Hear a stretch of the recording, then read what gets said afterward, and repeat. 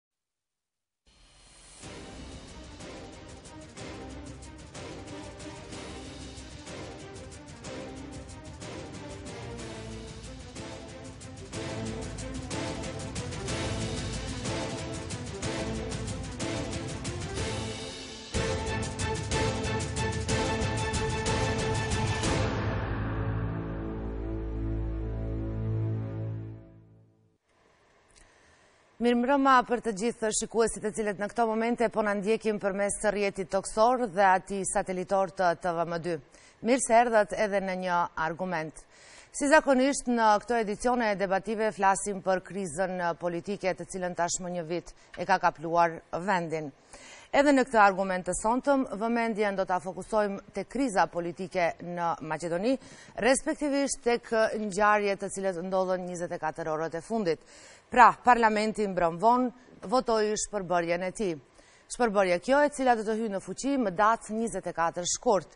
Kryeministrit iu konstatua dorëheqja dhe me atë iu dha dritë jeshile formimit të qeverisë së re, qeverisë teknike, e cila sipas marrëveshjes së Përzhinës duhet vendin ta përgatisë për zgjedhje korrekte dhe demokratike më datë njëzet e katër prill të këtij viti.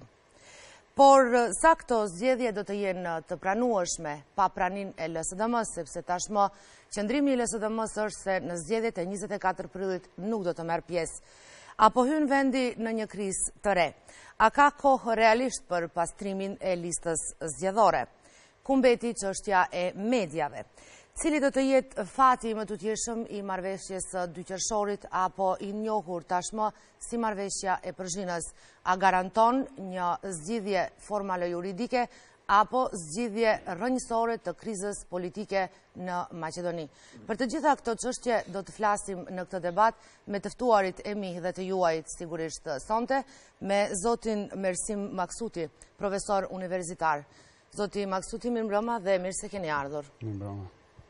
Zoti Albert Musliu, analist politik, mirë mbroma dhe mirë se keni ardhur. Dhe Blerim Iseni, ish kolegu im dhe tashmë analist politik, mirë mbroma dhe mirë se keni ardhur. Faleminderit për ftesë. Do të desha ta filloj emisionin me një pyetje paksa në formë të batutës. Dita e parë pas 12 vitesh pa Gruevskin në qeveri si kryeministër. Si ju duket kjo ditë? Në aspektin simbolik thjesht, mua më pëlqen të parashtroj këtë pyetje, sepse nuk kemi shumë herë mundësi që të parashtrojmë pyetje të këtilla. Si ju duk dita, dita sot, zoti Maksuti, pa Gruevskin kryeministër? Të jemi të sinqertë, një lehtësim po e ndjejmë kështu, në kuptimin e asaj ndjenjës shpirtrore, po themot, jemi, po thashë edhe një herë të tregohemi ma sinqertë, por mbi të gjitha duhet shtruar ky problem në kuptimin politik dhe madje dhe juridik se çka po ndodh me Maqedoninë dje pikërisht një nga etapat moment kruciale të zbatimit të marrëveshjes së Përzhinës dhe problemin duhet shtruar në atë se se çka realisht, çka ndodhi dje me Përzhinën, se po u hapën dilema të reja rreth procesit të mëtejmë të implementimit të marrëveshjes Përzhinës, e cila drejtpërdrejt lidhet me krizën politike të thellë në Republikën e Maqedonisë, madje hapat cilat dje ndërmorën në Republikën e Maqedonisë, konkretisht në brenda parlamentit Maqedonisë, unë them lirisht se kriza politike tashmë Prej një krize po hyjmë në një krizë ende më të thellë në në këtë vend, me të cilat akte dje u bë se unë do të veçoj tri tri vendime u morën dje në Parlamentin e Maqedonisë, do të veçoj dy vendime si pozitive përskaj asaj se... Do të flasim më gjërësish mbrenda gjithë emisionit për këto çështje, por fillimisht më intereson thjesht si e kaluat ditën sot pa Gruevskin meqë u bo një bujë e madhe në opinion, në Në vend që të fokusohet opinioni në ato se a implementohet përmbajtësisht marrëveshja e Përzhinës, kohëve të fundit sikur ishte në fokus në vëmendje, në qendër të vëmendjes pra dorëheqja e Gruevskit. A do jep, a s'do jep dorëheqje dhe kur do e jep dorëheqjen?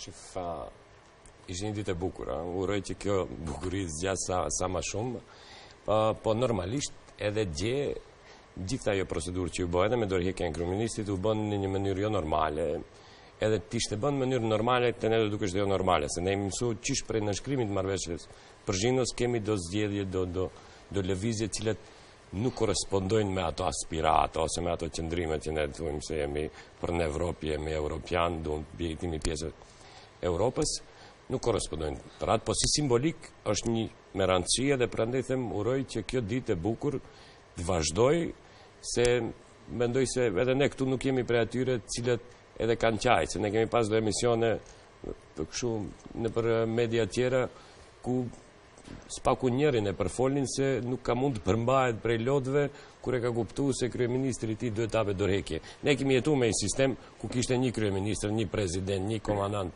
suprem edhe kemi mendu se i kemi tejkalu ato faze, po ja kthehemi në ato, në ato ujëra e uroj që këto ndryshime, këto sende t'jenë vazhdimësi edhe këto ditë t'bukurat na vazhdojnë. Blerim, çfarë mendon ti?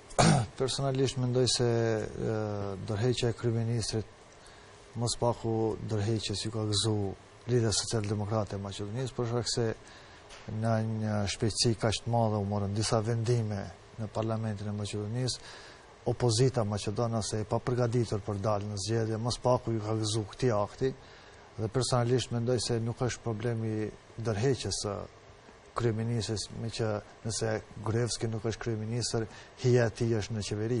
Po pra, u hoq Gruevski, po jo dhe Gruevizmi, apo? Po, për po personalisht nuk pres ndonjë ndryshim radikal në këtë aspekt, por ajo që më shqetëson më së tepërmi është, siç thashë pra shqetësimet e Lidhjes socialdemokrate, gjithashtu opozitës maqedonase e cila e papërgatitur për një veprim të këtillë, i erdhi sikur 5 në 12 një veprim i këtillë i pushtetit në parlament për një etapë, për një kohë shumë të shkurtë u morën disa vendime dhe kjo shokoi dhe sot nëse kemi pa në opinion qëndrimet e Lidhjes Socialdemokrate të Maqedonisë ende janë pa përgjigje se çfarë duhet të veprojnë më tutje, të dërgojnë ministrat në qeveri apo të mos dërgojnë, lëshuan parlamentin por nuk e lëshuan për të mos u këthyër sërish Pra, nëse... Një situatë kaotike dhe e paqartë. Një situatë e tillë, por personalisht mendoj se nga mbrëm kanë filluar të qartësohen veç gjërat dhe situata nuk, nuk mendoj se po shkohet drejt një krize më të madhe, po më prej mbrëm vlerësoj se ka filluar të zgjidhet çështja e politike, e kontesteve politike në Maqedoni, për shkak se tanimë data 24 prill Është apo s'është, do të vendoset, me vlerësoj unë, do të vendoset me ardhjen e komisionerit Hahn në fillim të të muajit shkurt në Maqedoni dhe atëherë do të dihet edhe da, do të përcaktohet pra edhe data e e zgjedhjeve të ardhshme. Ka një mori çështjesh, çështje të, të pasqaruara, thjesht në aspektin kushtetues, le të themi në, në kuvendin republikan, Me shpërbërjen e parlamentit dhe hyrja në fuqi e shpërbërjes me datë 24 prill dhe një mori zhvillimesh gjatë ditës së djeshme, ndoshta edhe të pritshme, por dhe jo deri në atë skajshmëri, megjithatë mbas gjithë asaj morie zhvillimesh ditën e djeshme, mua më la të kuptoj një gjë se Maqedonia po përballet me dy realitete. Në fakt, kemi të bëjmë me një realitet që e thotë blloku politik që është në pushtet, pra partitë politike në pushtet, që vendi duhet të del gjithsesi nga kriza dhe ato zgjidhja ma e mirë janë zgjedhjet më datë 24 prill. dhe Maqedonia është e gatshme të mbajë zgjedhje më 24 prill. Në ndërkohë kemi një realitet tjetër që e thotë opozita, që vendi nuk mund të ketë zgjedhje më datë 24 prill, zgjedhje përmbajtësore kredibile për të gjitha palët garuese, por mund të ketë zgjedhje teknike që nuk do të marrë pjesë opozita. Dhe tani, nga këto dy realitete, le të mbështetemi pak te ajo thënia hamletiane, To be or not to be, pra, a do kemi në këtë rast apo nuk do kemi, a duhet, a s'duhet të kemi zgjedhje në datë 24 prill?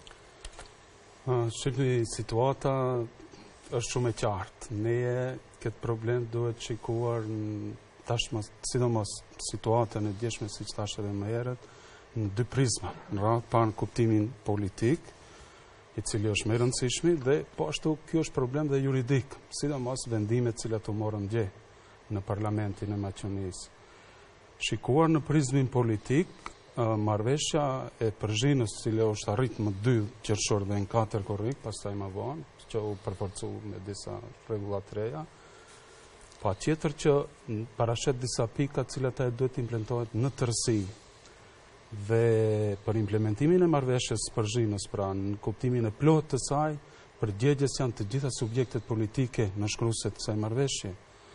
Dhe çështja që duhet shtruar është se ku mbeti realizimi i marrëveshjes së Përzhinës deri ku ecën vendimet, vendimet të cilat u morën dje në parlamentin e Maqedonisë, pa mëdyshje unë do t'i vlerësoj si vendime të cilat janë në funksion të zbatimit të marrëveshjes së Përzhinës, Janë në funksion të, të edhe pse tri vendime dje parlamenti i Maqedonisë pra mori tre, tre vendime, e para është se ai në, në, në, në mbledhjen në seancën e radhës konfirmoi dorëheqjen e kryeministrit tashmë të ikur të Republikës së Maqedonisë dhe ky për mu patjetër se përbën një moment të rëndësishëm të, të realizimit të marrëveshjes qershorit dhe kjo përbën një nga pikat kyçe me të cilat pra duhet të dhe sfidën më të madhe që kishte marrëveshja e Përzhinës, së bashku me prokurorinë speciale cila tashmë u themelu në Republikën e Maqedonisë, vendimi tjetër po ashtu i rëndësishëm për Parlamentin e Maqedonisë të cilin e mori dje dhe unë e vlerësoj pozitivisht është është është formimi i qeverisë së re tashmë me, me kryeministrin e ri Por e keqja e kësaj është se e keqja e kësaj është se opozita nuk mori nuk mori pjesë në parlamentin e Maqedonisë dhe dhe shikuar në kuptimin politik, domethonë, këto vendime të cilat dje i mori parlamenti i Maqedonisë, sa janë valide, sa janë, sa çojnë vërtet në realizimin e mirëfilltë të sinqertë të marrëveshjes së Përzhinës. Ndërsa momenti tjetër, Vendimi i tretë të cilin e mori dje Parlamenti i Maqedonisë, pa mëdyshje që shpërbëu parlamentin, pra parlamenti i Maqedonisë sipas kushtetutës të saj, ai vetëshpërbëhet, nuk mund të institucion tjetër në këtë vend ta shpërbëjë parlamentin, pra parlamenti me shumicë votash shpërbën përbërjen e tij, Por, është një moment ku vetë dje parlamenti i Maqedonisë u shpërbë, një çështje e cila është e diskutueshme, në cilin kuptim se vërtet shpërbërja pra dje të cilin e bëri pra deputetët shumicë të këtij parlamenti, a ishte një vendim i mbështetur në kushtetutën e Maqedonisë ose jo. Çfarë parashikon uh, kushtetuta? Po pikërisht se sipas kushtetutës, po pikërisht për arsye se kushtetuta e Maqedonisë parashen në situata të rregullta, Kur vendi shkon në zgjedhje parlamentare, parlamenti mund të shpërbëhet 90 ditë përpara se të skadojë mandati. Ndërsa në situata kur kemi kriza politike, kur kemi zgjedhje të parakohshme parlamentare, parlamenti i Maqedonisë mund të shpërbëhet vetëm 60 ditë para se i skadon mandati i tij. Ne në rastin e djeshëm Tre muaj ditë përpara kemi marrë një vendim për shpërbërjen e parlamentit edhe pse ai duhet të prisim edhe një muaj që të kalojnë që parlamenti të marrë një vendim dhe kjo një çështje pra, sipas që në kuptimin juridik... Pra, sipas jush duhet, duhet të kemi zgjedhje me 24 prill? Sipas mendimit tim, vetëm sa të elaboroj këtë në kuptimin, po. por juridik dhe me thënë vendimin e tretë, sepse këto janë tre vendime gjithë që ne mund të themi se çka po ndodh sot me Maqedoninë, a po hyn një krizë të re, më të thellë politike, apo përderisa Ato që sollën dje vendimet thanë ne Maqedoninë me këto vendime po e nxjerrim nga kriza. Pra kjo një çështje që patjetër është më esenciale të cilën duhet shtruar. Sipas mendimit tim pra vendi parlamenti i cili mori dje një vendim para kohë të shpërbëjë parlamentin një muaj përpara se atij i takon sipas kushtetutës, është është një moment i cili është shkelur, pra është cenuar kushtetutshmëria në këtë vend sepse parlamenti është dashur të presë edhe një muaj të kalojë dhe të marrë vendim që të shpërbëjë parlamentin 60 ditë përpara se i skadon mandati dhe prej momentit parlamenti kur merr një vendim të tillë, ai ma nuk është legjitim, nuk vlen dhe humb nga fuqia e tij politike. Sepse parlamenti është një institucion politik i cili merr vendimet politike, pra më të rëndësishme të një vendi. Dhe kjo ishte tani ne do të vazhdojmë me siguri për çështje tjera që do ta plotësoj. Zoti Alberto Rrimi. Ka disa anomali, nuk mund të thuhet se dilet prej krizës, kur shkaktar të krizës nuk janë participientë të krizës, nuk janë vetëm uh, partitë në pushtet. Këtu participientë të krizës janë gjithë subjektet politike, veçanërisht opozita, e cila e, e inicoi dhe e gjeneroi këtë krizë politike, pra nde ullën edhe në shkujtën gjithë. T'ishin, uh, t'ishin këto zgjedhjet e parakohshme 2014-ës uh, ose 2011-ës, ku shumica me argumentet e veta, i shpallte zgjedhjet e parakohshme, çka është për tejkalim krize. Atëherë mbante ajo logjikë se ato e iniciojshin, ato e gjenerojshin, ato e votojshin. Tash këtu nuk mund të flasë pozita në emër të opozitës se me vendimet e djeshme do ta tejkalojnë krizën kur ai që është pjesë e krizës, domethënë opozita, nuk e kundërshton atë. E dyta, ngrihen do dyshime pse parlamenti, pikërisht pse parlamenti u shpërbë 35-6 ditë para, që me 5 mars në duke që nuk e di tamam me, me disimin, ose 24 mart, shkurt, duhesh të të... 24 shkurt. Duhesh të të shpërbëhet parlamenti. 60 ditë i vjen 24 shkurt. Me këtë vendim të djeshëm është pamundësu cilido vendim i parlamentit në ndërkohë, kur kryeministër i Maqedonisë do të ishte kryeministri i tashëm. A është ajo një rezultat refleksioni mosbesimit të, të ish-kryeministrit në ato strukturat e veta, të cilat mundeshin prej datës 15 janar deri në datën 24 shkurt bin ndonjë vendim tjetër, ajo është çështje për cilën besoj se do të diskutohet pak më shumë këto ditë. Por tejkalimi i krizës me mbajtjen e zgjedhjeve në të cilat nuk merr pjesë opozita është i pamundshëm. Se opozita ishte ajo e cila e inicoi. Ashtu që nëse vazhdohet me këtë avas, unë nuk besoj se do të vazhdohet. Këtu gjithsesi në javën që vjen ose prej nesër kemi pas festë, sot nuk është punë. Do të kemi reagime edhe Ambasadës e Shteteve të Bashkuara të Amerikës, besoj se edhe partnerët tanë evropianë do të reagojnë se edhe ato janë të vetëdijshëm se kjo krizë nuk mund të përmbyllet nëse marrëveshja e Përzhinës nuk plot, nuk përmbushet ashtu pik pik për pikë siç është bë. Se ka shumë dilema, jo vetëm a do të marrin pjesë ministrat e opozitës ose jo. Ajo është është qesharake ne edhe ta bisedojmë, se nuk është kjo qeveri e një partie politike, është qeveri e Maqedonisë, edhe nuk është Rast eklatant ku kemi ministra në një qeveri të partive kundërshtare. Ne kemi pas edhe koalicione të gjera, ku përveç kryeministrit, përbërja e ministrave ka qenë e laramanshme edhe ka qenë e nevojshme për atë moment. Këtu ka dilema a do të vazhdohet me implementimin e marrëveshjes të Përzhinës. Nëse nuk implementohet, çka do të ndodhë me prokurorinë speciale, a mos vallë na ndodh mas zgjedhjeve të cilat do të jenë ekskluzive, në të cilën nuk do të marrë pjesë opozita, do të zgjidhet një shumicë e re e cila edhe do ta mbyllë atë me votim, siç e ka votuar për ta për ta vendos, do ta ndryshojë. Domethënë, ne mund të kemi një krizë edhe më të madhe, edhe sinqerisht atë krizën më të madhe nuk e di çfarë marrëveshje do ta do ta përmbyll kur marrëveshjet e nënshkrume nuk implementohen. Ne tash nuk mund ta fillojmë analizën e implementimit, domethënë e, për, e tejkalimit të krizës prej ditës djeshme. Ne jemi gjithë dëshmitarë se këtu ka pas obstruksione prej ditës të parë të implementimit të marrëveshjes Përzhinos, po bile edhe të nënshkrimit, se marrëveshja e Përzhinos është dashtë t'nënshkruhet në 2-3 qershor. Po një pjesë është nënshkru në 2 qershor, një pjesë është nënshkru në 15 korrik, nuk e di fiks si sa ishte data, edhe gjatë gjithë implementimit ka pas obstruksione. Kjo nuk ka qenë vullneti i qytetarëve të Maqedonisë. Qytetarët e Maqedonisë kanë pas dëshirë, vullnet edhe interes që kjo krizë tejkalohet. Që ai besim i cili në një pjesë të madhe të qytetarëve ndaj institucioneve është humb të kthehet, mënyra ma e mirë për t'u kthy ka qenë implementimi i marrëveshjes së Përzhinos. Përveç marrëveshjes së Përzhinos ne kemi obligime edhe tjera si si shoqëri dhe institucione. Kemi raportin e Pribes. Jo çdo gjë prej raportit Pribes është reflektuar në marrëveshjen e Përzhinos. Po ajo do të reflektohet në dialogun e nivelit lartë, në procesin tonë të integrimeve evropiane, domethënë, ne atyre reformave nuk mund t'u ikim. E tash friga ekziston se nëse marrëveshja e Përzhinos nuk implementohet, çka do ndodhë me këto obligime tjera të cilat Maqedonia i merr si obligim për t'i përmbush, edhe çka do ndodhë me këshillin e ministrave të Unionit Evropian, i cili në qershor duhet të debatojë për Maqedoninë.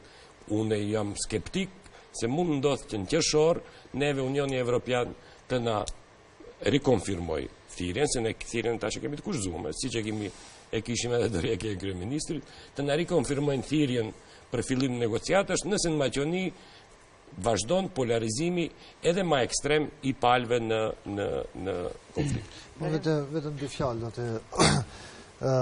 kam bindjen se Obstruksionet e respektimit, siç tha edhe Alberti, të marrëveshjeve, tanimë dihen me vite të tëra, jo vetëm i marrëveshjes së Përzhinos, po nëse nisemi që nga marrëveshja e Ohrit që shpëtoi shtetin me probleme që janë hasë në zbatim, po në këtë aspekt unë mendoj se opozita maqedonase nuk ka arritë të lujë rolin që i ka taku në aspekt të zbatimit të kësaj marrëveshje. Për shkak se afatet e marrëveshjes së Përzhinos kanë kalu që para vitit të ri dhe opozita maqedonase para vitit të ri caktoi dy ministra duke mos duke mos dhe katër zëvendësministra sensibilizu opinionin se marrëveshja e Përzhinos me këto në këtë pikë në këtë pikë në dhe në këtë pikë po po nuk po respektohet. Ta zëmë në, në Shqipëri dhe në Kosovë, opozita mbush sheshet, në Maqedoni, në Maqedoni kjo s'ka ndodh dhe s'po ndodh. Ndodhi në qershor apo në maj ishte, edhe atë falë mashtrimit që opozita maqedonase arriti t'ia bëjë disa shqiptarëve të cilët iu bashkëngjitën kësaj proteste. Kam fjalën se edhe opozita në këtë pjesë ka një faj të madh që nuk bëri në vazhdimësi presion, për zbatimin e kësaj marrëveshje. Tek e fundit pushteti ka këtë rol, të rrijë, partitë në pushtet, u konvenon që të jenë sa më gjatë në pushtet. Dhe opozita si korektore e pushtetit është dashtë të bënte presion më të fuqishëm në aspekt të implementimit të marrëveshjes së Përzhinës. Nga ana tjetër, zgjedhje pa opozitë në Maqedoni unë nuk besoj se mund të ketë Dhe ku e mbaj shpresën? Nëse ndalemi dhe analizojmë veprimin politik të Bashkimit Demokratik për Integrim, e cila është në një korelacion shumë të fortë dhe të fuqishëm me faktorin ndërkombëtar, të rrijë peng e një politike, siç ka ndodh mbrëmë, dhe të votojë tre vendime, siç i shpjegoi edhe profesori, shumë të rëndësishme për shtetin, dhe të hyjë në zgjedhje pa opozitë, unë nuk e besoj se kjo mund të ndodhë.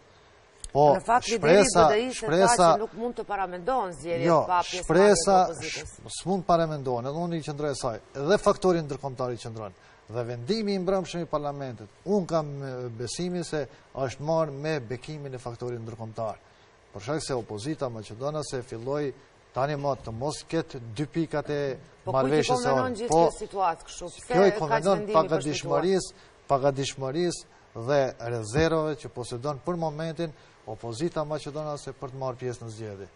Për shkak se gjitha anketat, gjitha anketat që bëhen, rejtingu i saj është i dobët. Dhe në këtë kuadër, jo rastësisht, opozita maqedonase këmbëngul që zgjedhjet të mbahen në, në shtator, madje jo në qershor. Nisjarë jo vetë. Po, të shkëpus. Ajo, problemi i opozitës është problemi i opozitës.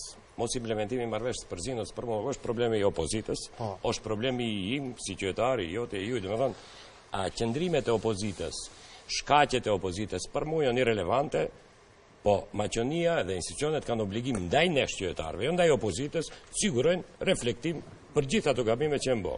Pribeja nuk ka bë raport i cili është i anshëm. Ai ka bërë raport objektiv edhe gjithë ato mangësi duhet të shmangen. Ato bomba që i ndigjojshim ne, s'kanë të bëjnë ato as me opozitën, me pozitën, kanë të bëjnë me keqpërdorime që janë bo në këtë shtet në hesapin tonë. Ne jemi taksapagues, në hesapin tonë janë bo. Po për mua është gjithashtu e papritshme që nëse ju thuni se këtu e përdorin shpesh termin e bokserëve, u thuni ju, një një bokser ka frikë dalë me bokserin tjetër, po ka frikë nëse ai ka revolen në xhep. Për dalë me një ring ku ju mund t'i matni fuqitë, duhet kushtet të jenë të barabarta. Nëse s'ka kushte të barabarta, për mua çdo njeri normal ka dilemë a mund t'dalë në ring me ndonjanin të garojë. Edhe ne e pamë se nuk ka kushte të barabarta. Ato bombat që i ndigjum, ne si qytetarë t'Maqonisë, jo faktori ndërkombtar, po ne si qytetarë t'Maqonisë i lidhshim me raste konkrete. Unë besoj se asnjë, asnjeni prej Komisionit Evropian ose prej SHBA-s, nuk mund çdo bombë ta lidhe me ndonjë rast konkret, po ne jetojmë këtu. Ah. Ne e dim se cila bombë me cilën realitet t'jetës korrespondon. Edhe këtu ka pas keqpërdorime Ta tashme. Ajo se nuk ka reakcion te ne, si ka në Kosovë, si ka në Maqoni, është problem për tanë shoqninë e Maqonisë. është problem që u ep hapsirë politikanve t'sillen në mënyrën që ato duhun. Se nëse s'ka reakcion, jo prej opozitës, se nuk është opozita e vetmja që e mbron shtetin prej keqpërdorimeve të pushtetarve. është gjithë shoqëria ajo që e mbron. Edhe ne që flasim këtu, flasim me një obligim shoqnor që disa dukuri që nuk janë të mira, të rregullohen. Ajo si do të rezultojë opozita në në zgjedhje, ajo është problemi i opozitës edhe anëtarësisë të opozitës. Ne si qytetarë na intereson që kushtet të jenë të barabarta, që mos ketë për keqpërdorime, edhe ai që do fitojë, të fitojë pa dilema. Ne mos kemi rezerva për atë që do të fiton, edhe se duhet ta ushtron pushtetin jo në mënyrën se si është ushtru, se ai raporti i Pribes thotë se nuk është ushtru në mënyrë europiane. A tash motivet e opozitës, Une, nëse analizohet ma thellë, kam, kam e kuptoj se nëse disa afate janë tejkalu, tash ne nuk mund të themi se mediat nuk janë faktor në zgjedhjet, si nuk janë faktor, po mediat është dasht të rregullohen para 5 muaj. Pse nuk janë rregullu? Edhe për mu, nëse DPMNE-ja tregon muskuj, se është fituse, Atëherë pse nuk i implementon këto? Ai që fiton, shif. Ai që fiton edhe kur garon ti 100 metra thot t'ap 10 metra unë ty para me e fillo se unë të fitoj. A këtu edhe tregohet verbalisht DPMNE-ja se fiton me pa çdo. Domethënë fiton gjithsesi, a nga ana tjetër nuk i përmbyll, nuk i përmbush obligimet që i ka që ato gara të jenë fer edhe për mu, përderisa nuk përmbushen obligimet e Marrëveshtjes së Përzhinës, po edhe reformat që kanë t'bëjnë me raportin e Pribes. Atër, çdo garim, çdo dalje n'zgjedhje, len dyshim. Nëse len dyshim, ato fjalë që i përdorin të mëdhaja, fitojmë ne e mbysim, Janë fjalë të kota, se parakushtet nuk janë përmbushme. Atëherë sipas jush kur mund të jetë koha e volitshme për mbajtjen e zgjedhjeve? Shih pra për të çmontu gjithë ai sistemi cili është i montu. Mhm. Unë jam i sigurt se në redaksionin e kolegëve të gjuhës maqedone, ne s'flasim më lirisht, se ne jemi të vetdijshëm me realitetin në Maqedoni. Edhe është për të uru që ka emisione debative shërbimi publik në gjuhën shqipe. Po, kërkon proces, është një proces pak ma i gjatë. Prandaj, prokuroria speciale e ka mandatin Minimum dy herë. Domethënë, 8 vjet ajo duhet të vepron për t'i përmirësu edhe për t'i rregullu disa dame që janë bo. Po në sferën e mediave, ne jemi të vetdijshëm se ka një, si të them, një monopol të hatashëm. Edhe ai monopol i hatashëm nuk mund të çmontohet për 30 ditë, për 60 ditë. Për mu edhe afati 6 mujor është i vogël.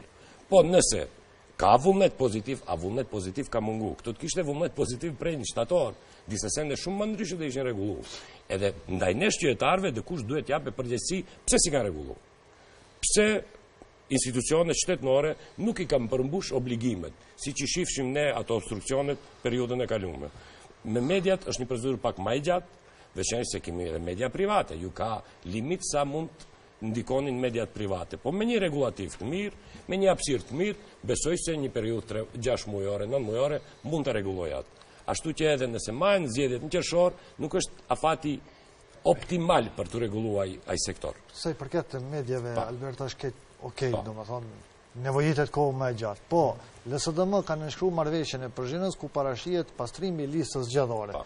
Për shkak se lista zgjedhore ne e dimë, në çdo cikël zgjedhor, problem është po, pastrimi i listës zgjedhore. Po, LSDM ka nënshkru 60 ditë për pastrimin e listës zgjedhore. Dhe e ka pranu këtë. Ka pranu këtë afat. Komisioni shtetëror zgjedhor u dash të zgjidhet në gusht. Po. Jo. Dhe, prej, prej në gusht, tani jemi në fund të janarit, Lidhja Socialdemokrate e Maqedonisë ka ndejt pasive. Në çfarë kuptimi? Në kuptimin që nuk ka bo presion. Duke dash, duke tentu që të krijojë kushte dhe rrethana për t'i fitu zgjedhjet në tavolinë.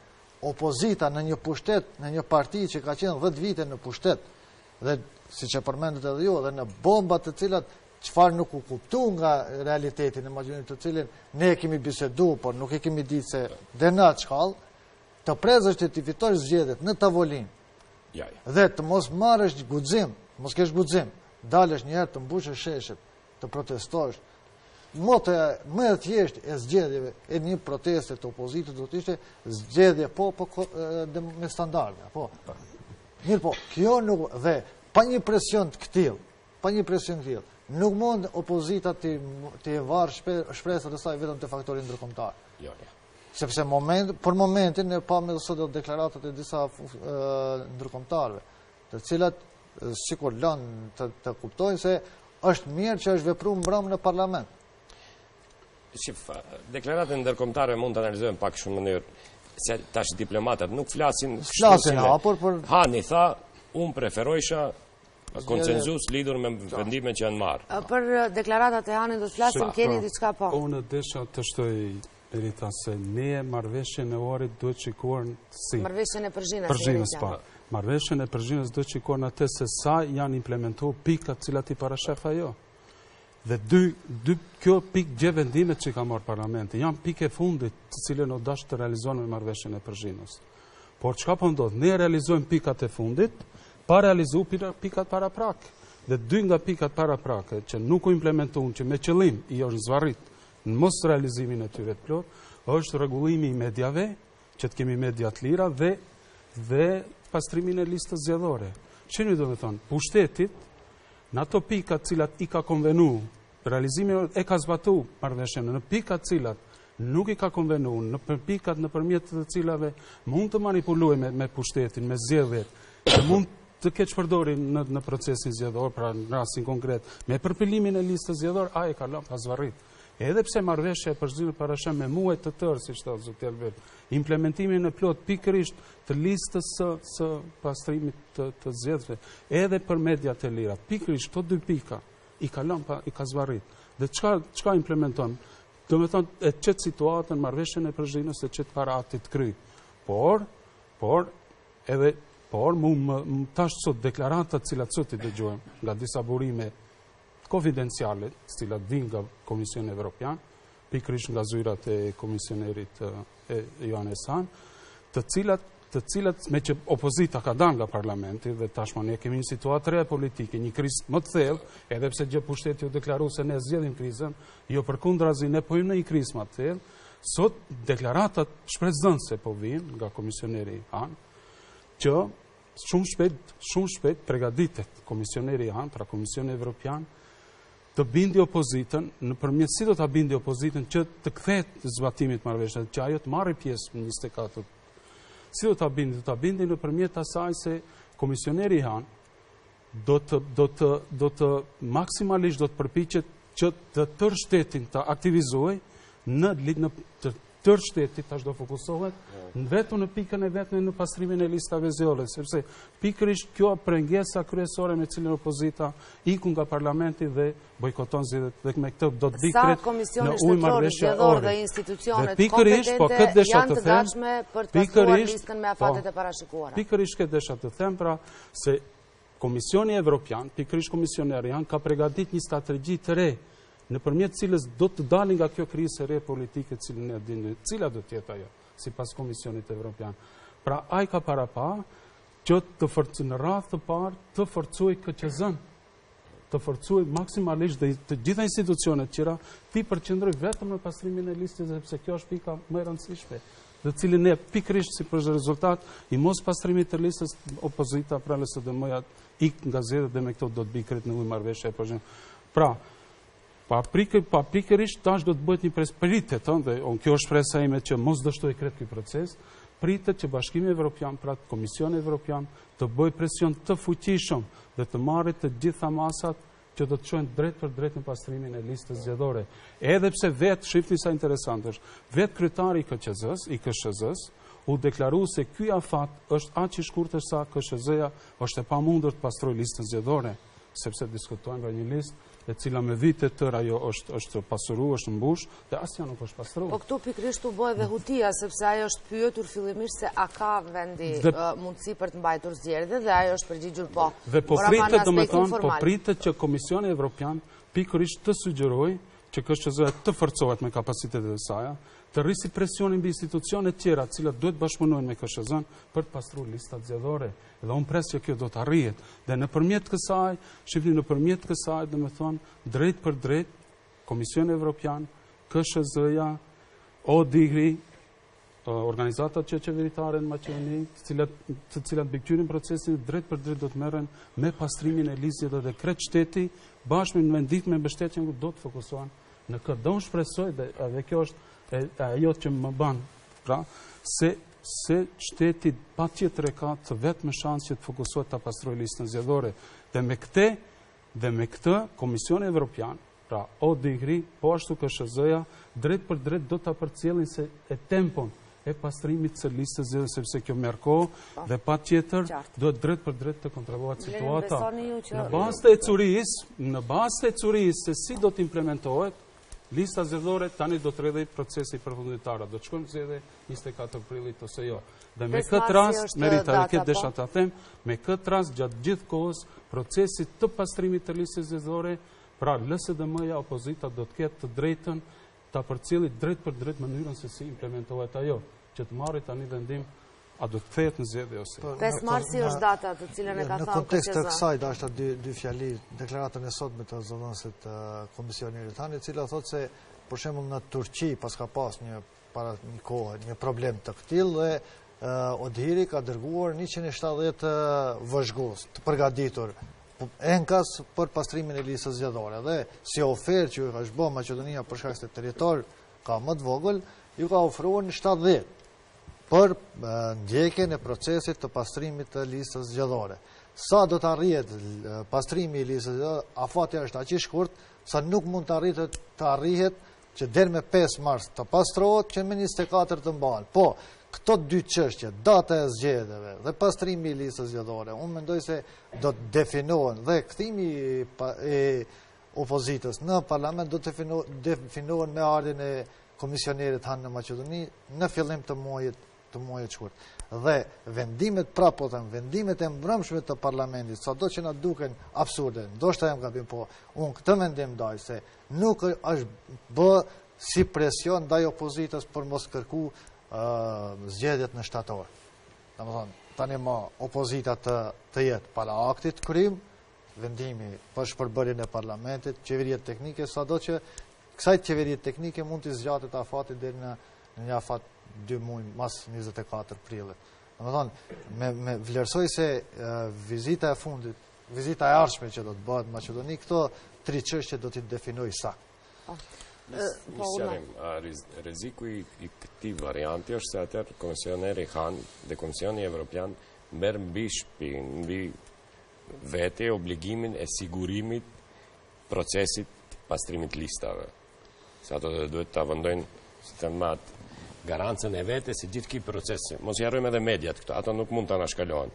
Opozita... Kur jemi te Hani zoti Ylber, jo, jo, mendoj... se e ka përgjegjësinë, se pikrisht fajtor, pse dështon marrëveshja kryesor është edhe bashkësia ndërkombëtare. Po. Nëse dështon Hani diplomacia evropiane, atëherë ne do të kërkojmë drejtpërdrejt kyçjen e Shtetet Shtetet e Bashkuara po. Amerikës. Sa merren të mirëqena atëherë deklaratat e faktorit ndërkombëtar, apo politikanët prap vazhdojnë simbas terqipit tyre? Nuk ka pas deklarata konfuze. Sepse ne gjithmonë për t'ia hudhur topin, ia hudhim faktorit të tretë. Nuk ka pas deklaratë, asnjë deklaratë konfuze prej partnerëve tonë ndërkombëtarë nuk ka pas, përveçse prej deputetëve të Europarlamentit që nuk kanë përgjegjësi direkte. Ato janë deputetë. Po nuk ka pas ndonjë qëndrim konfuz. Edhe gjithë fjalët i kanë të matuna. Varianti ku ato insistojnë që opozita të marrë pjesë në 24 prill, është variant ku ato e garantojnë mirëvajtjen e procesit. Ajo shumë rrezik i madh Për ato, për karrierat e tyre, se tash... Në si institucione. Po. A mos është kjo një lojë sërish e VMRO-DPMNE-së që mos jo, jo, po shtyhen zgjedhjet për në shtator, po gjendet një mesatare. Nuk e besoj se aq e fortë është VMRO-ja sa ta fusë në... Ajo gje ka qenë lojë, ajo gjithsesi ka qenë lojë, prandaj ka pas edhe një qëndrim, një vendim aq kontradiktor se parlamenti shpërbëhet, po në efekt është prej 24 marsit, ashtu. Shkurt. Po atëherë çfarë rëndësie ka një muj apo dy muj më herët apo më vonë? E po unë nuk e kuptoj, po çka ka aq rëndësi kur dikush është aq i sigurt në fitore, po pse ka aq rëndësi që këto zgjedhje të bëhen mas 2-3 muj? Domethënë, këtu kemi shumë... Sepse thotë VMRO-ja, vendi është i gatshëm pas KSHZ-ja në fakt në jo, institucionet, është i gatshëm pas të listës zgjedhore.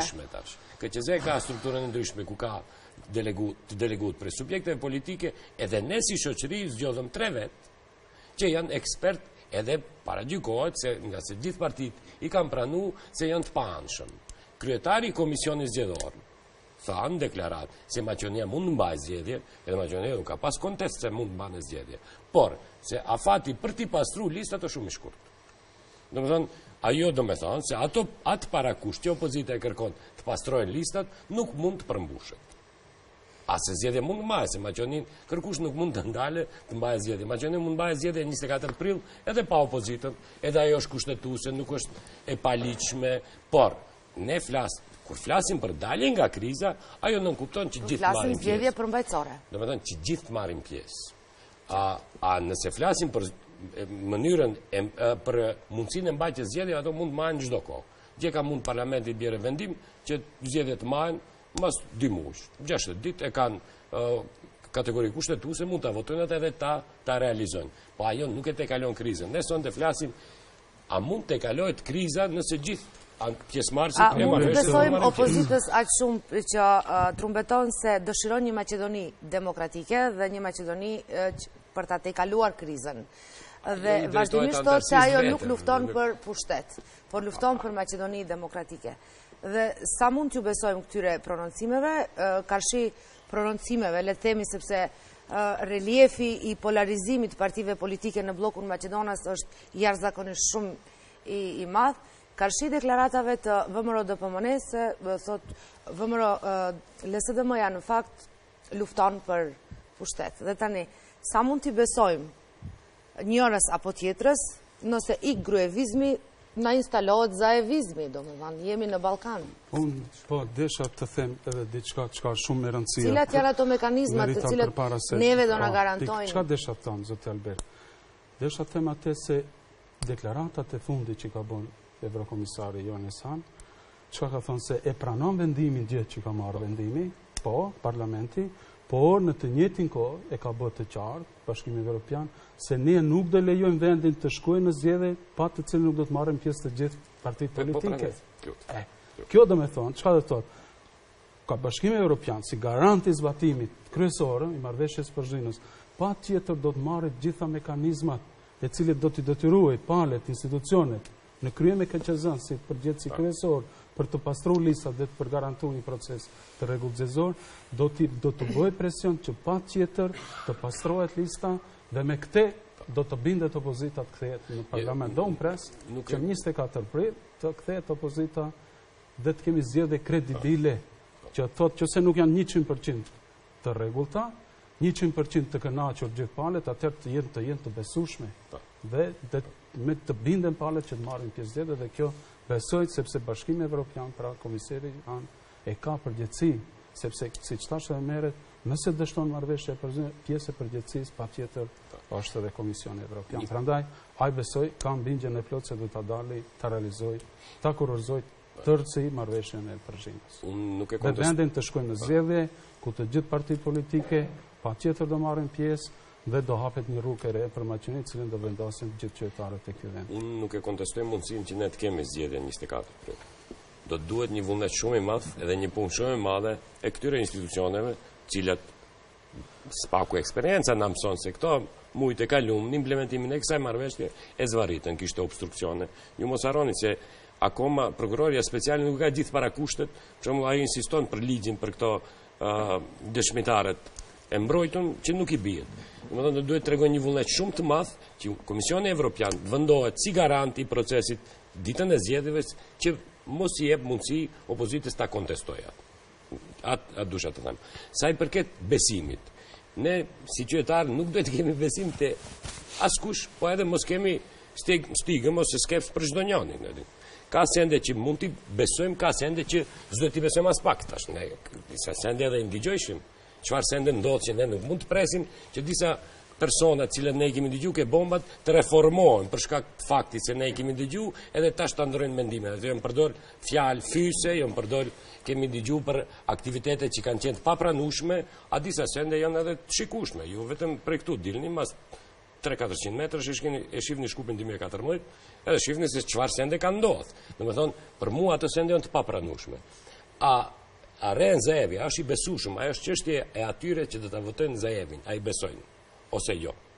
Ne duhet si qytetarë të jemi të interesuar që keqpërdorime.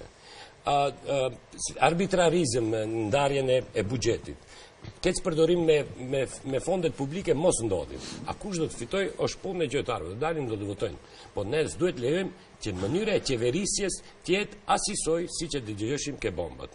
Domethënë, ne nuk duhet kemi preferenca në bisedet tona, kush rrenë ose kush nuk rrenë. Ne duhet kemi preferenca. Po ne kemi dëgjuar vetëm njërën anë. Po, ana tjetër, sigurisht ka pas, pse nuk i ka, shif, nuk mund ne tash opozitën ta fajsojmë për keqpërdorimet e fondeve publike, me ne tash duhet kemi një farë limiti për çfarë jo, flasim. Jo, për nivelin e shprehjes e kishte fjalën, apo? Jo, jo, unë s'fola për nivelin e shprehjes, fola për keqpërdorimet, fola për Shkupin 2014, ne kemi keqpërdorime fondesh. Shumë lekë janë harxhu në mënyrë cilën gjithë qytetarët shqiptarë e kontestojnë. Unë mendoj se së paku në Gostivar të unë ka shumë dilema a është dasht gjitha ato fonde t'harxhohen për Shkupin 2014.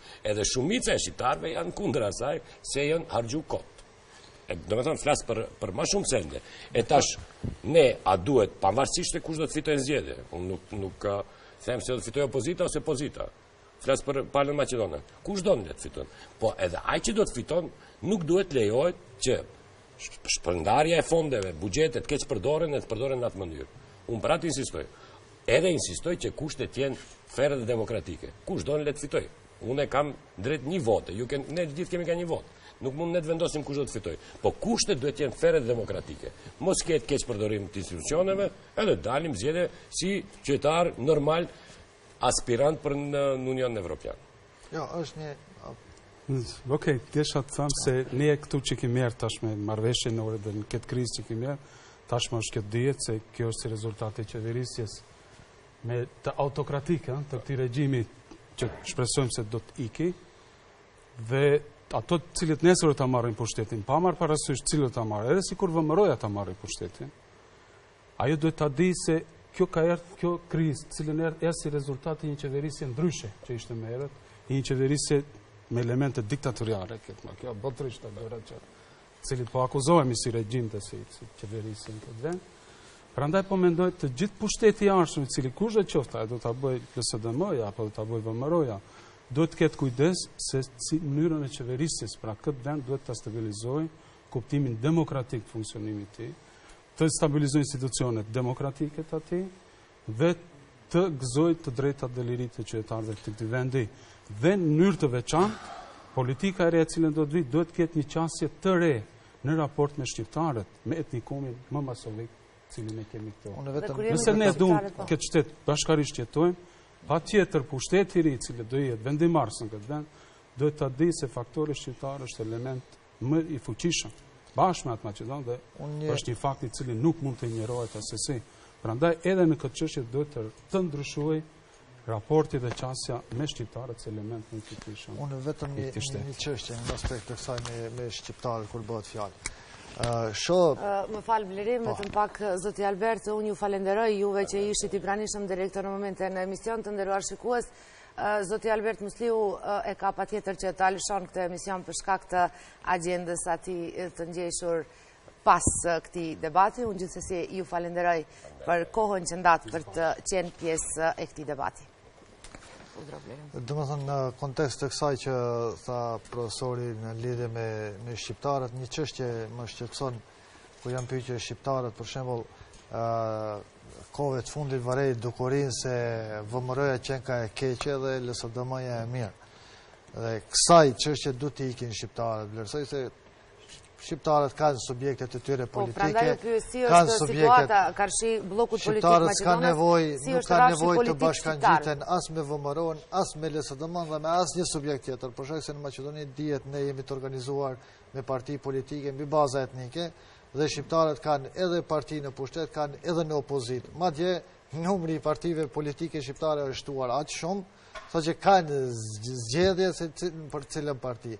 Fakti që të ndahen shqiptarët, të kategorizohen se ky pse po e sulmon LSDM-në dhe është me VMRO-në, ose pse po e mbron VMRO-në se është me LSDM-në, është shumë i dëmshëm për shqiptarët dhe mendoj se atë që bëri Zaevi, Duhet të nxjerrin gjithë shqiptarët një mësim, atë që bëri me protestën në Shkup.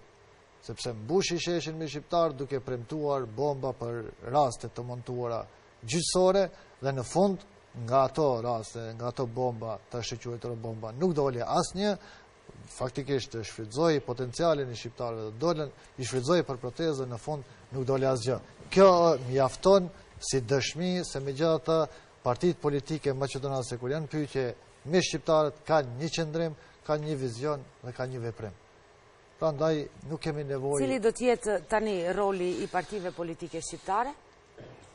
Karshi gjithë kësaj krize, për tejkalimin e krizës, si duhet të sillen? Partitë politike shqiptare kanë qenë aktive në të gjitha takimet, si ajo në pushtet edhe ajo në opozitë. Ajo që është e rëndësishme se polarizimi te shqiptarët më duket pak më më i ulët se sa te, te maqedonasit. Ndoshta për shkak se politika e VMRO-së ka ndiku më tepër te, te, te maqedonasit se te shqiptarët, por vlerësoj se partitë politike shqiptare për momentin secila vrapon pas pas rejtingut të vet tek e fundit, edhe pse ende s'ka fillu fushata, po megjithatë mendoj se te shqiptarët do të zhvillohet demokracia dhe ka subjekte të mjaftushme politike, ku secili shqiptar mund ta gjejë vetveten. Një pyetje, kush duhet të shpallë zgjedhje, pra të vendosi a do të ketë apo s'do të ketë zgjedhje, institucionet apo partitë politike? Mm, Shikoni, kjo çështje është juridike në radhë të parë, se zgjedhjet e rregullta parlamentare shpallen çdo katër vjet dhe kryetari i parlamentit... Në raste të këtilla flasim, kur e kemi këtë situatë që kemi sot? Në kushte të rregullta domethënë, kur skadon mandati katërvjeçar i parlamentit, kryetari i parlamentit me kushtetutë, shpall, përcakton datën e zgjedhjeve të reja të rregullta parlamentare. Por në situata krizash politike, është situata ajo e cila kur vendi hyn në krizë të thellë, kur nuk kemi funksionim demokratik të institucioneve siç kemi tash. Kur në rastin më të keq, po humb, po humb funksionimi i shtetit juridik. Kur kemi një dominim të institucionit të një pushteti mbi pushtetet e tjera për një arbitrarizëm të skajshëm dhe të ngritjes së një sistemi me tipare diktatoriale, siç thamë më herët, dhe një mosfunksionim, domethënë, kur kemi një opozitë të dalur nga institucionet, dhe ne duhet ta dimë shumë mirë se opozita është vlerë dhe shtyllë e demokracisë, e cila ajo vendin e ka në parlament, dhe jo jashtë saj, Atëherë patjetër se vendi duhet të shkojë në krizë. Opozita është në institucione, i ka dy ministri, zoti Maksuti, ka ministrinë e punëve të brendshme dhe ka ministrinë e punës dhe politikës sociale. Ka deputetët, dje nuk ishte e pranishme në kuvend.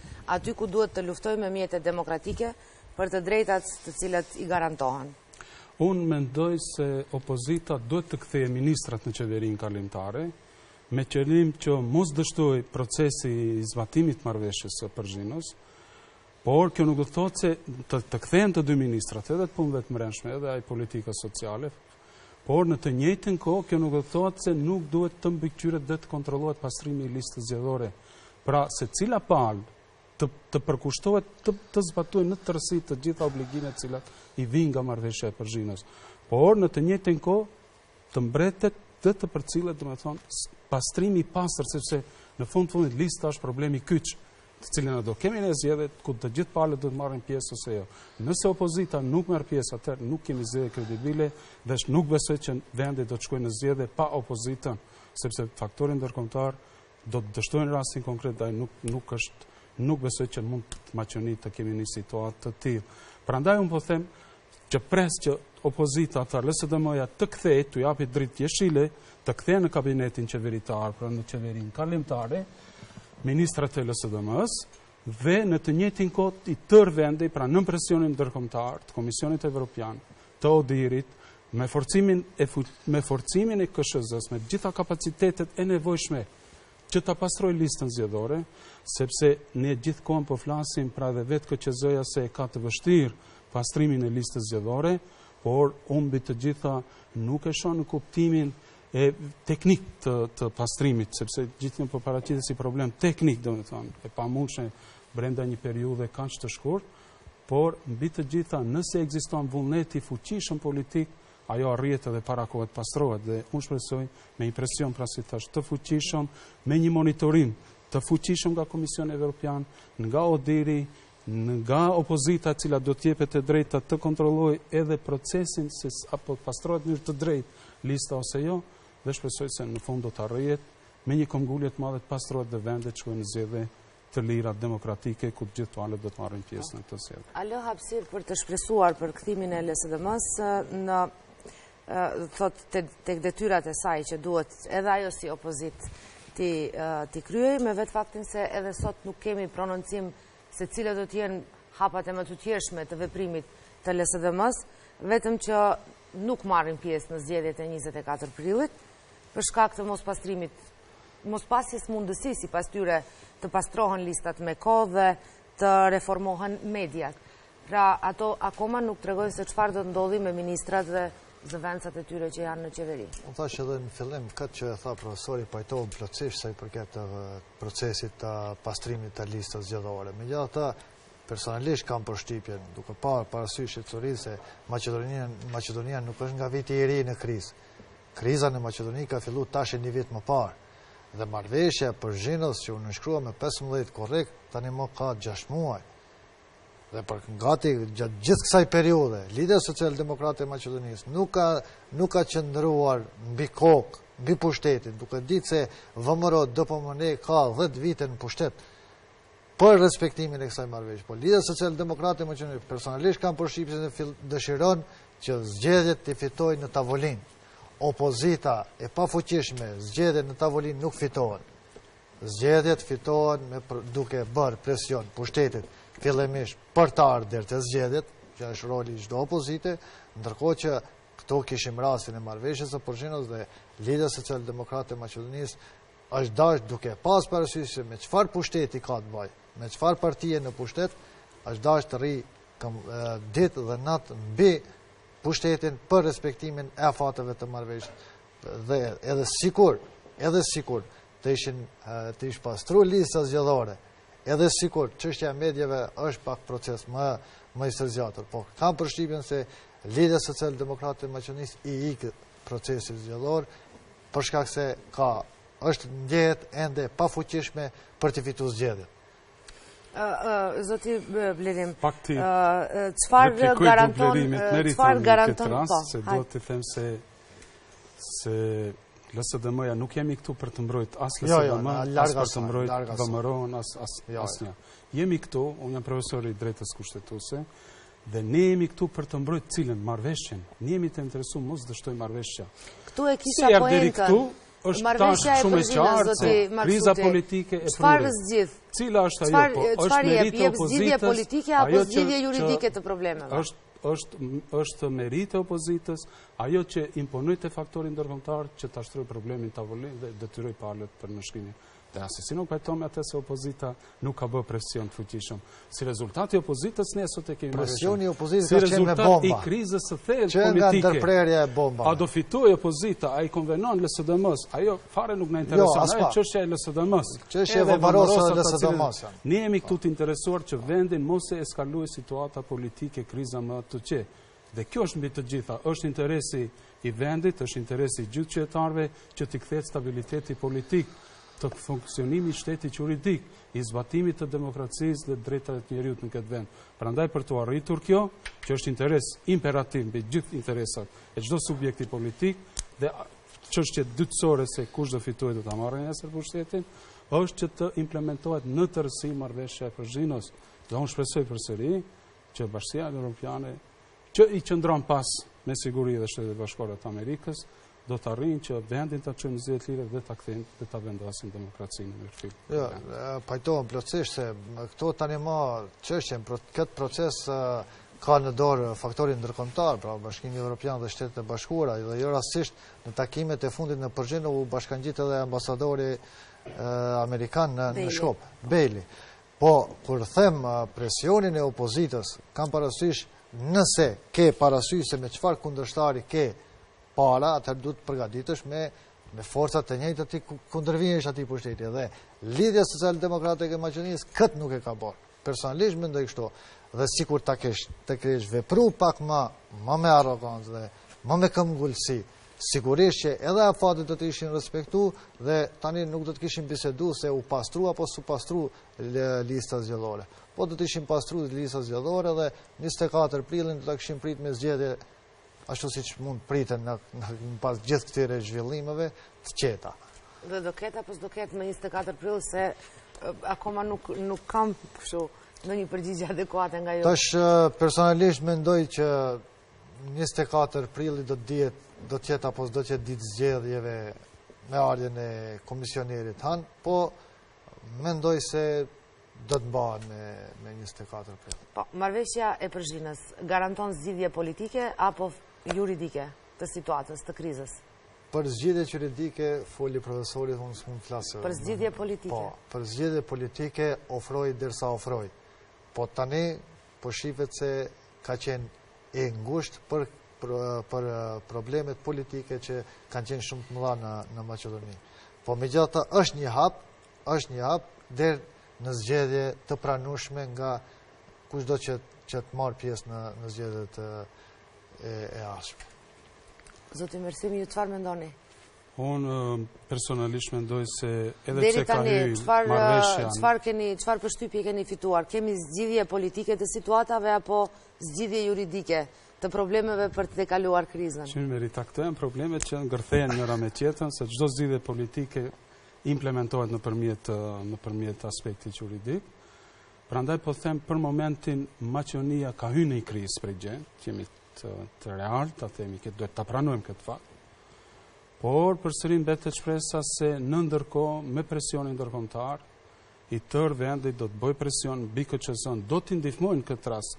KSHZ-ja, pra Komisioni Shtetëror ka nevojë për ndihmë më të fuqishme dhe tërë po në fund të fundit qeveria kalimtare këtë mandat ka, vetëm të vetmin mandat ka të organizojë zgjedhje të lira demokratike në vend, dhe tërë qeveria kalimtare e ka obligim mbështetjen më të fuqishme tërë forcën e saj ta ta japin mbi KSHZ, t'i ofrojnë gjithë ndihmën të cilën do ta kërkojë KSHZ-ja, dhe unë shpresoj se, me presionin ndërkombëtar, pa mohuar edhe faktorin në fund më të fuqishëm Shtetet e Bashkuara, i cili i rri pas gjithë kësaj situate, do të arrijmë që që të pastrohet lista zgjedhore, të arrihet marrëveshja mbi mediat për regulativën ligjore mbi mediat dhe vërtet të ekzistojë vullnet i fuqishëm politik dhe të kthehet LSDM-ja, të kthehet në institucione dhe mbi të gjitha të arrihet që ajo të marrë pjesë në zgjedhjet e 24 prillit që do të të do të nxjerrë pra, vendin nga kriza. Pra, ju mendoni se është datë definitive?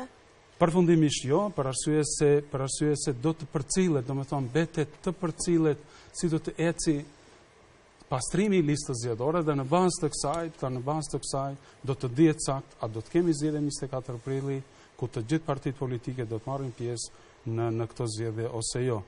Po shpresoj se, siç thashë edhe më herët, disa herë po e përsëris, shpresoj pra nën fuqinë e Komisionit Evropian dhe Shtetet e Bashkuara të Amerikës, e tërë qeveria kalimtare do të fokusohet në sfidën më të madhe kah pastrimi i listës zgjedhore dhe në fund do të arrijë pra me një me një vullnet politik të fuqishëm, që pres, domethënë, nën presionin e ndërkombëtarëve, që të pastrohet lista dhe të plotësohen gjitha kushtet që opozita të hyjë në zgjedhje si gjithë pjesëmarrësit që të së gëtë të garojnë në zgjedhje. Koha e nevojshme 60 minutë veç kaloi, është ora 21.30 minuta, këtu duhet të përmbyll këtë debat.